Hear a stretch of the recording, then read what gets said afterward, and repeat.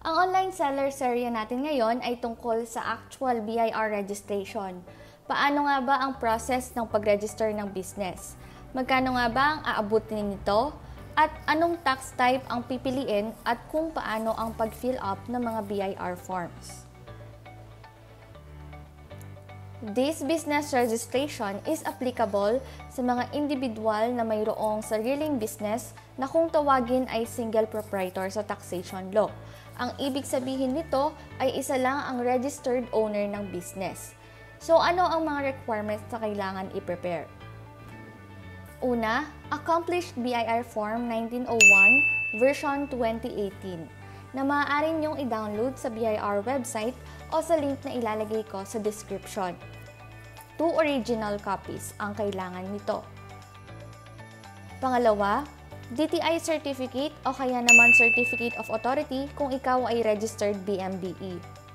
Pangatlo, payment na 500 pesos para sa registration fee at 30 pesos para sa documentary stamp tax. As of today, January 14, 2024, at kung ngayon kayo magre-register ay included pa ang 500 registration fee. Pero base sa bagong napasang batas noong January 5, 2024, Ease of Paying Taxes Act, ay aalisin ng annual registration fee na 500 pesos. Ngunit hindi pa kumpirmado kung kabilang dito ang initial registration fee sa registration ng business o ang annual registration fee lamang tuwing renewal. Dahil as of today, bago ang implementation ng Ease of Paying Taxes Act, ay rene-renew pa ang ating BRR registration ng 500 pesos annually sa pamamagitan ng pag-file ng 0605 on or before January 31. Ngunit magte-take effect na ito starting January 22, 2024, kaya wala ng yearly annual registration fee na 500 pesos sa mga susunod na taon. Pang-apat, ay kailangan ng photocopy ng inyong valid ID na mayroong 3 signatures. Panglima, kung kayo ay magpapa-assist through representative ay kailangan ng Notarized Special Power of Attorney or SPA at photocopy ng valid ID ng representative. Ang recommended copies sa mga requirements ay 3 copies upang maiwasan ang pabalik-balik kung nakulangan man ang iyong mga copies. Susunod, How to fill up BIR Form 1901. Ang unang box na ito ay to be filled up by BIR. Para ito sa mga walang existing TIN number, upon registration, dito isusulat ang inyong TIN number. Kaya hindi na kailangan separately mag-apply for TIN number dahil ang BIR na ang magpo-provide nito para sa inyo. Maaaring skip ang PhilSys number at mag-proceed sa registering business. Kung ito ang first time mong mag-register ng business sa BIR, ay head office ang i-cross out mo. Kung hindi naman ito ang iyong first time registration, ay i-cross out mo ang branch. Dahil considered branch na ang mga susunod mong businesses kung ito ay mga subsequent businesses na. Next, ang number 4. Ito ay para sa mga merong existing TIN number. Kung nakalimutan nyo ito pero naaalala nyo na mayroon kayong TIN number, ay maaari ninyong iparecover ang inyong TIN number sa mismong nagre-register din para hahanapin nila ito sa system nila. Next, RDO code. Ito ay ipoprovide ng BIR at ito ay napaka-importanting impormasyon dahil kung ano ang RDO code ng inyong BIR office ay dito lamang dapat kayo nagfa-file. Dahil kung magkamali kayo ng RDO code ay maaari kayo ma-penalty as wrong venue of payment. Susunod ang taxpayer type. Dito ay pipiliin nyo kung anong category kayo na taxpayer. Isa lamang ang dapat piliin ninyo dito. Single proprietor ka kung mayroon kang business and compensation income earner ka naman kung employed ka. Professional ka naman kung kabilang ka sa mga licensed professionals acknowledged by PRC and IBP. So kung purely nagbi-business ka lamang, ikaw ay single proprietorship only. Kung ikaw naman ay employed and at the same time ay single proprietor, ikaw ay considered na as mixed income earner. Ganon din kung kabilang ka sa tatlong classifications, ikaw ay considered ng mixed income earner. Maaari mo na ring i-fill out ang iba pang mga kailangang impormasyon sa part na ito.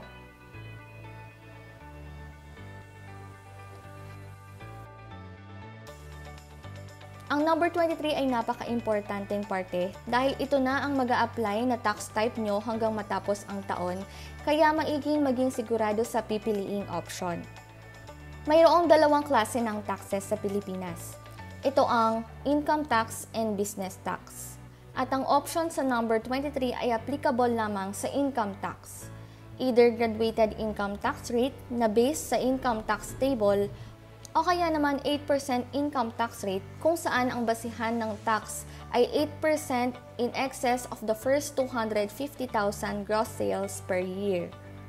Ngunit ang 8% option na ito ay applicable lamang sa mga non-VAT taxpayers. Ang pangalawang tax ay ang business tax. Dito pumapasok ang classification kung ikaw ay non-VAT o VAT. Kung ang annual gross sales mo ay nag-exceed ng 3 million, ay mandatory ka nang mag-register as VAT. Kung hindi naman, ay maaari kang mag-register as non-VAT. Ang mga taxes at computation ng mga ito ay bibigyan pa natin ng mas detalyang eksplanasyon sa mga susunod pa nating mga serye. Susunod, ang spouse information kung ikaw ay married,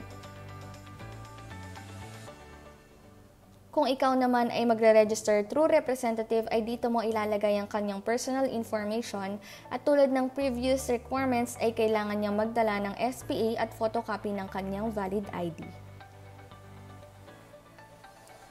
Sa part 4 naman ay makikita mo ang details na kailangan ilagay mula sa iyong DTI certificate.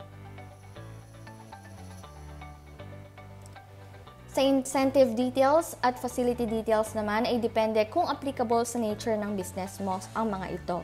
Pero kadalasan sa mga small businesses owners ay hindi naman ito applicable at pwede nyo itong laktawan. Ang Part 5 naman ay maaari nyo ring laktawan dahil ang BIR ang magpo-provide nito.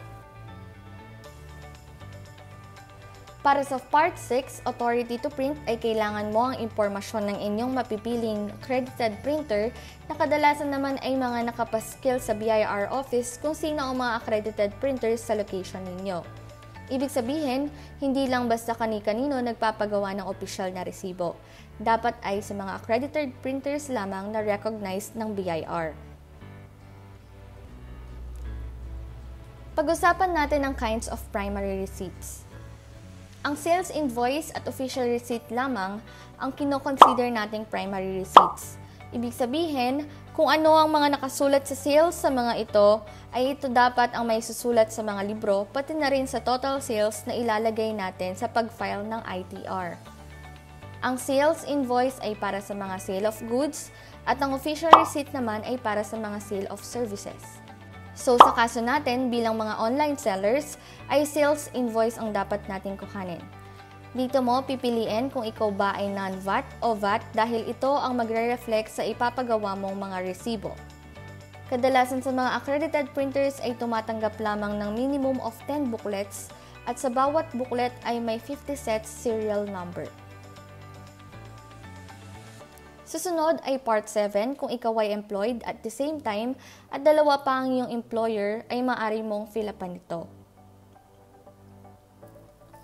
Part 8, kung ikaw ay employed ngunit sa isang employer lamang, ay fill upan mo ito upang ma-update ang iyong registration as mixed income earner at magdala ng additional requirement tulad ng contract of employment. Lastly, sa BIR Form 1901 ay kabilang na rin ang pagbabayad ng 500 pesos registration fee at 30 pesos documentary tax. On January 22 ay maaari na po itong mawala ngunit hindi pa kumpirmado kung kabilang ang initial registration fee. Balikan natin muli ang mga requirements para sa business registration. Kapag na-process na ang inyong application ay kailangan nyo na lang maghintay sa paglabas ng inyong COR or 2303, Notice to Issue Receipt Card, at Authority to Print. Kadalasan ay natatapos naman ito within the day. Marireceive natin ang green card ng blanco kaya ikaw na lang ang mag-fill out nito. Ang last 3 digits number ng ating TIN number ay ang branch code. Tulad nga ng sinabi ko kanina, ang pinakaunang ni-register mong business ang considered na head office na may 000 branch code. At ang mga susunod na business na ire-register mo in the future ay considered ng branch. Same ang first 9 digits ng TIN number at magkakaiba lang sa last 3 digits based kung pang ilang branch na ito. Ang authority to print naman ay binibigay sa accredited printer upang siya ay makapag-proceed na sa pagprint ng inyong mga resibo. Ang cost ng mga resibo para sa 10 booklets ay usually nagre-range ng 1,500 to 2,000 pesos depende sa location ninyo. Ang accredited printer na ang may obligasyong mag-comply sa mga nasa reminder na ito, kaya naman ang expect nating makukuha mula sa kanila ay una, ang mga pinaprint nating mga resibo, at pangalawa, ang mga dokumento na ito na dapat registered sa RDO natin.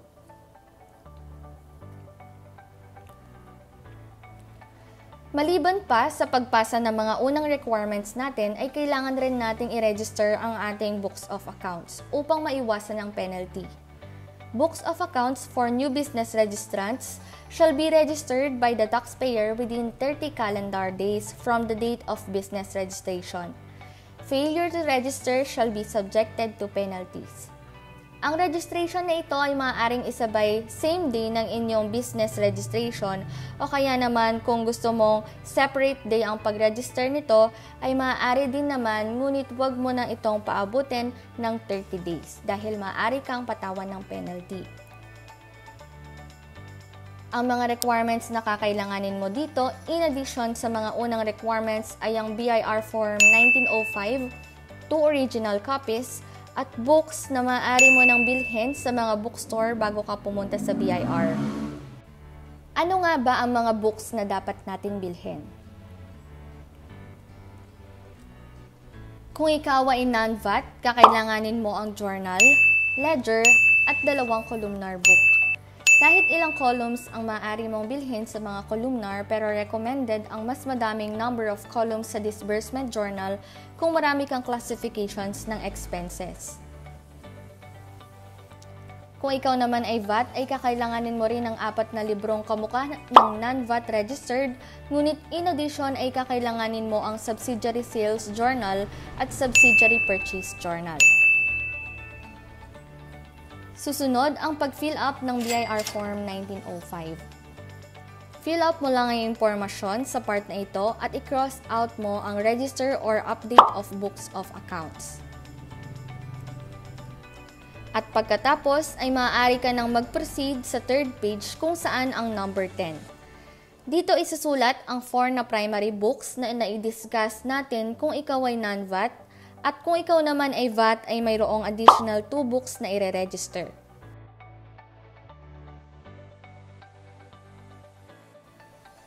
Susunod ay kailangan mong ipastamp ang mga books sa first page at i-fill up ang mga kailangang impormasyon. Bago ka makaproceed sa counter ay maaari mo nang ipastamp ito. Maaari mong itanong sa BIR office kung kanino nagpapastamp ng books upang kumpleto na ang mga dadalhin mong requirements.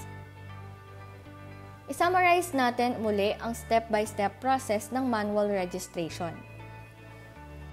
Una, go to applicable BIR office kung saan located ang business mo. Maaari kang mag-e-appointment sa bir.gov.ph slash e-appointment slash book underscore now.html upang hindi mo na kailangan pumila at maghintay ng number. Ang payo lamang dito ay dapat magpunta 30 minutes before ng iyong appointment upang maiwasang malaktawan. O kaya naman ay maaari kang mag-walk-in at kumuha ng iyong number sa ARTA counter at maghintay kung ikaw na ang susunod. Make sure na naipastamp mo na ang mga books mo at na-fill out mo na rin ang mga ito habang naghihintay sa number mo. Kapag ikaw na ang nasa counter, dito mo na ipapasa mga requirements for business registration and registration of books. Kapag na-process na ito, ay kailangan mo na lang maghintay upang ilabas sa mga na-discuss natin kanina ng dokumento. Pagkatapos ay magtungo ka na sa napiling accredited printer at ibigay mo na ang authority to print. Pagkatapos ma-print ng iyong mga resibo ay panigurado ko kontakin ka ng iyong printer upang kunin ang mga sumusunod. Paalala lamang ay huwag munang magsusulat ng mga sales sa books kung wala pang mga resibo. Kung susuriin natin ang total cost ay meron tayong registration fee na 530 pesos, including DST, pagbili ng books in conservative price 288 pesos, 10 booklets 1,700 pesos, depende pa sa accredited printer na napili ninyo, at kung true representative ay notarized SPA, depende rin ang presyo ng notaryo sa rates ng inyong location. Total of 3,018 pesos. Kung ikaw naman ay magpapa-assist sa BIR registration ranging 5,000 to 6,000 pesos ay sa tingin ko naman ay sulit na dahil less hassle sa part mo sa paghihintay buong araw sa BIR at pabalik-balik ng 2 to 3 days lalo na kung malayo ang location mo. That is all for today. This is your girl accountant providing hands-on training.